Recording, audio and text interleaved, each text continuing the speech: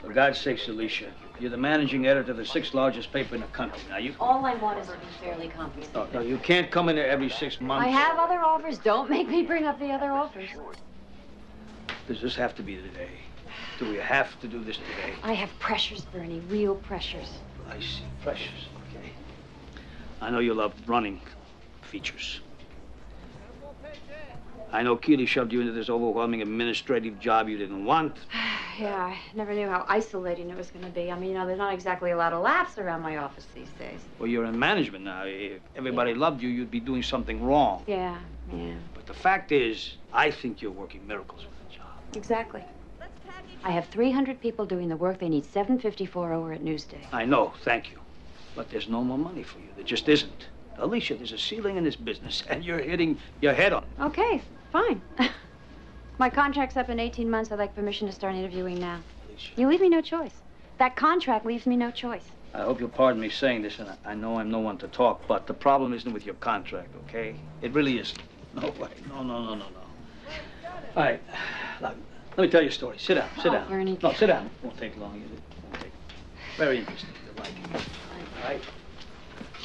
Now, all right. In '68, a bunch of us that were covering the Olympics in Grenoble decided to go to the best restaurant in town. Now, the the menu didn't have any prices, but we were on expense account, so we just figured, fuck it, got drunk. Well, somehow there ended up being, I don't know, 15 or 20 of us at the table, and when the check came, whoa, it was $9,000. Yeah, exactly.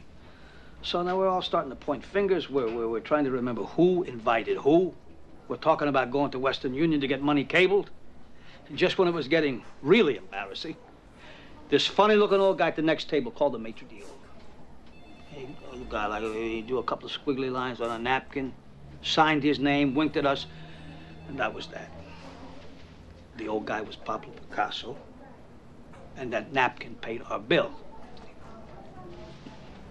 well, I'm not sure I caught the segue here, Bernie. Well, the people we cover, we move in their world, but it is their world. You can't live like that, Alicia. You'll never keep up. Now, if you try to make this job about the money, you'll be nothing but miserable because we don't get the money. Never have, never will. So what can I say? Talk to Bruno about the, what, decoration, renovation, whatever. Ask him to be reasonable. Your husband's a reasonable guy. Or give up the nights in town Bruno doesn't know about.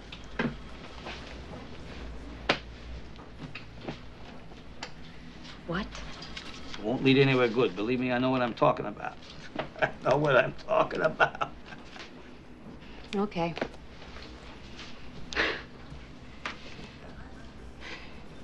I'm going to see Keighley tonight at the benefit. It's obvious that I'm going to have to take this up with him directly. You go over my head on this, you'll only make it worse for yourself, believe me.